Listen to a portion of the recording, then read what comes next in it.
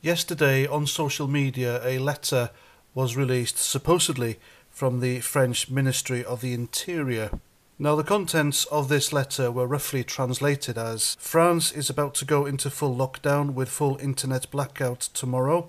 Now, this letter was immediately deemed a hoax uh, by French authorities. However, yesterday evening, Macron turned up on the television after disappearing for most of the riots, and he announced that he is pulling social media down and off the air. Now, he has said before that he blames social media for the uh, migrants coordinating their attacks and their riots. So he has announced a total censorship and ban on all reporting in France. So that means the poor French people, the innocent parties in all this, the victims, will be unable to see the outside world, and we won't be able to hear them.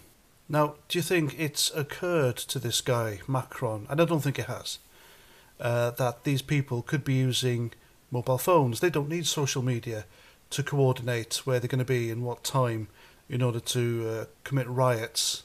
You don't need social media to do this. So it's in effect a blanket punishment for everyone, uh, including the the innocent parties and all this, the French people, the decent French people, the victims uh, of these riots. And if France does go into full lockdown, who's going to enforce it? Does France have enough police and armed forces personnel to deploy in order to enforce this rule? I don't know. And remember from my previous video on this, General Villiers, the man rumoured to be the favourite to topple Macron and take his place in order to get the country in order.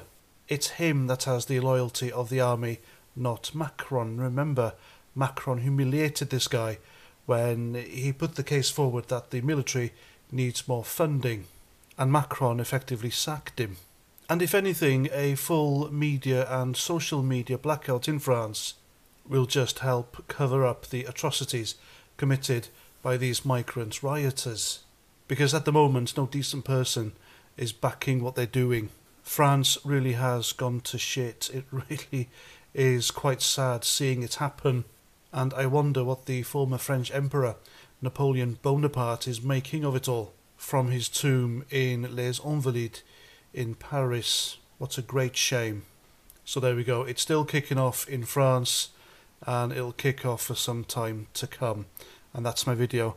Please let me know what you think in the comments and until the next time, Roger Trout.